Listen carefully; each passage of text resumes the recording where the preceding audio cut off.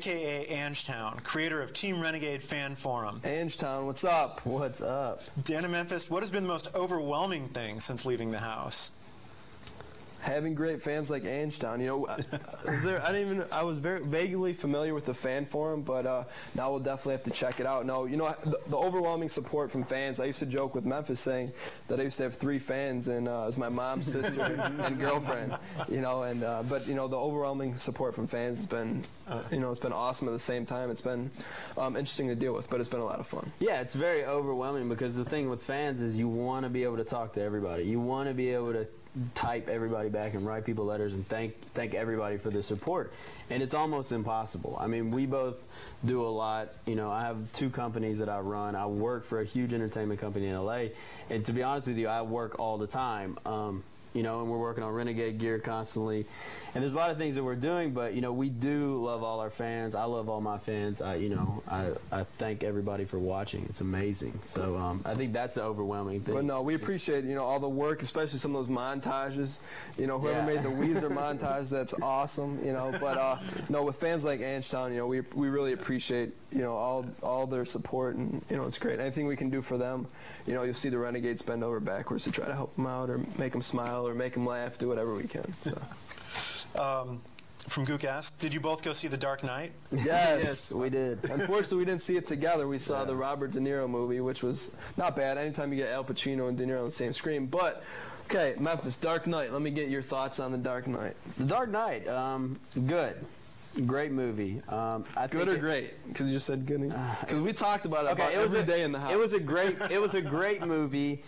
It should have been called the Joker instead of the Batman. Okay. It, you know, it focused on a lot of uh, Heath Ledger, which was amazing in that role. I thought it was a little bit long, to be honest with you. Okay. I thought it was a little long, but it was a great movie, and I will say great. And what it do? It, I mean, it broke yeah, huge everything. records. It was crazy. Um, I thought it was awesome. You know, I was very enamored with Heath Ledger's performance. However, you saw him like the whole time. He was the same character. You never saw him fluctuate. But I mean, it's still the best Joker, hands down, and was well worth the uh, what three month wait. Oh yeah, it was awesome. Um, from Hecky Fool again, Dan. What are some of the things you did in the house to imitate Dr. Will? Some of the things I did. Well, you know they say uh, imitation is the highest form of flattery, um, but you know what? I real player does uh, refeed the the live show. The what is it? The yeah, we do the replay for the live. Replay the live feeds. I guess heck yeah, fool. You're gonna have to stay tuned, watch the feeds again, and and you know what? Send me a message. Every detail. Yeah. Watch it. Yeah. Watch every detail. See, Give Dan did a link. Dan did a lot of shady stuff in the house that nobody really caught what the first time. What are you talking about? So look, I'm telling you, watch it the second time. Watch it all over. Check all his shady stuff out because I promise you, he did some weird things. He used to creep around walls. I'm telling you, the first couple of weeks were very interesting with Dan. You can, uh, you know, once you watch the feeds again front to back, you can get in touch with me at my MySpace, which is myspace.com slash geese, G-H-E-E-S, or check out uh, let's do this like judas.com yeah you can what's get your you what's can, your myspace? Uh, memphis i don't know, search memphis garrett you'll find it you know it's right there. But uh, yeah you can get in, in, contact with us through the website let's do this like judas.com yep. So um, question from dirk diggler from Memphis. this is the real Dirk Diggler? what is One up, man? We've heard uh, a lot about you. I thought you were just a movie character. I didn't yeah. know you were actually real. If Jerry had called you a womanizer that one more time, would you have physically harmed him? or would you have just allowed people to restrain you? Ooh. I'll answer that question. Every, anyone who knows Memphis is you can cross him once and he'll forgive you but not forget. If you cross him twice, I wouldn't want to be in the way of that silver brass knuckle he's wearing. I'll tell you that right now. Um, Dirk, man, I don't. You know, it's one of those things where who knows what would have happened. Um, my head was in the game. My head was in the game. You know what I mean? The guy's 75 years old. Um, you know, I let my emotions get the better part of me. And uh, you know, when something like that really bothers me, I don't sit there and let it. Uh, you know, I don't let just let it go by. I don't brush it off my shoulders. You know, I with little things like uh, Ollie calling me a and telling me to you know, and doing all that, you know, I just let it roll because it doesn't matter. It didn't care. I you know, I could care less what he had to say. But with Jerry, you know, it hit home and I didn't appreciate it. So, you know, I needed to let him know that. The one thing I knew with aligning with Memphis, though, is that even though people attacked him and things like that, I knew he wouldn't sacrifice whatever the case may be, getting kicked out of the house for in an act of uh, trying to win the game. You know, I knew he wouldn't do anything stupid. He wouldn't blow up, and that's why I wanted to align with him. He's much like myself. He was there to win and play the game and, and not let these things get to him. I'm looking for the question. I lost the question. Sorry, but it was about um, what do you guys feel about? ba- I mean, hopefully, I'll find it. But it was basically, what did you guys feel about Jerry calling you guys Judas? You probably saw me. I was like rolling my eyes half the time. I don't know if people understood. If I don't know if the live feed, you can see the POV while it's happening. I'm not really sure. Can you guys? I don't know. Can you see the live meeting or POV? no? Sometimes, usually, Some. the, Okay, well, look, when they called him, when he made that long speech about Judas and all this, that POV meeting, Jerry talked for like 15 minutes. like, people long. didn't realize, like, I mean, we were just, I was just sitting there like, this guy is out of his mind. He's just talking and talking and talking about nothing that had to do with anything. So it was it just, I'll tell you what, that's a huge turning point for me in the game. If he doesn't call me that, you know, when he called me Judas, that gave me so much sympathy, and people realized, you know, hey, why is he giving this speech? You know, and people like, oh, poor Dan, poor Dan. That gave me a new life in the game, you know. So if Jerry doesn't call me that, you know, like I've always said this. I told Memphis this. There's a lot of luck involved, and any variable could have changed in the game, and the outcome could be different, you know. But you know, when he called me that, in all honesty, it didn't bother me because it, as when he's calling me that, I'm like, you know, I was trying to find an angle to play that to my advantage. So. And I didn't know if like he thought, you know, if he meant that by like, if he thought he was Jesus, or I didn't really understand. That's- yeah, like, that's I was just kind of like, what are you trying to say, man? uh, from Cabo Wabo, Dan, how did you stay so focused throughout the duration of the game? Do you have any special techniques? Um, you know, it's, there's a lot of things. You know, I, I'd watched Big Brother so much in the past.